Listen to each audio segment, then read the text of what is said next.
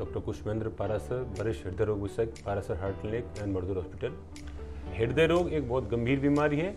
इससे बचाव के लिए हमें बहुत सारी समस्याएँ उनको दूर करना होगा क्योंकि हार्ट अटैक हमारे देश में पन, 10 से 15 साल पहले होने लग गया है वेस्टर्न कंट्रीज़ की तुलना में।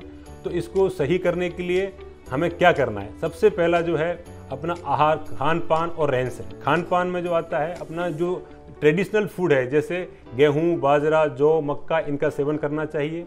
अपन जो भी रिफाइंड आइटम है, उनको कम से कम मात्रा में प्रयोग में लें।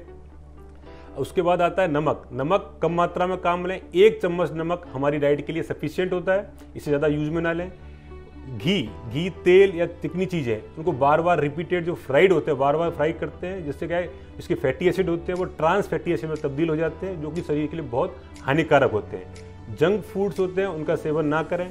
खाने के अंदर फाइबर डाइट, फ्रूट्स, नट्स का उपयोग ज़्यादा मात्रा में करना चाहिए। इसके अलावा, जो भी लोग एल्कोहल का सेवन करते हैं, वो नहीं करना चाहिए। स्मोकिंग या तंबाकू का सेवन बिल्कुल भी नहीं करना चाहिए। प्रॉपर मात्रा में नींद लेना बहुत आवश्यक है, नहीं तो स्ट्रेस बढ़ता है और स्ट्रेस बढ़ने से हार्ट अटैक की संभावनाएँ बढ़ जाती है।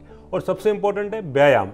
नियमित 30 से 45 मिनट के लिए ब्रिस्क वॉक, तेज व्यायाम करना बहुत आवश्यक है और ये कम से कम एक हफ़्ता में पाँच दिन करना बहुत ज़रूरी है। हम नियमित व्यायाम से अपने आप को नींद को अच्छा कर सकते हैं, मोटापे को कम कर सकते हैं, अपन ब्लड प्रेशर को कम कर सकते हैं और डायबिटीज़ को भी कंट्रोल करने में फ़ायदेमंद रहता है। अगर ये सारी बीमारियाँ नहीं होंगी तो हम हार्ट अटैक की संभावना मरीजों में बहुत कम हो जाएगी, जिससे हम, हमारे समाज का, हमारी आगे वाली पीढ़ियों का समय, पैसा बचा सकते हैं। और अगर हम स्वस्थ रहेंगे, हमारा परिवार स्वस्थ होगा तो हमारा देश भी स्वस्थ होगा तो सभी के लिए फ़ायदेमंद चीज़ होगी। तो मेरा यही मैसेज है लाइफ स्टाइल मॉडिफिकेशन बहुत स्ट्रिक्टली लागू करें, जिससे अपन इसको अपने जो भी फाइनेंशियल लॉसेज हैं और जो अपनी लाइफ है, उसको बचा सकें।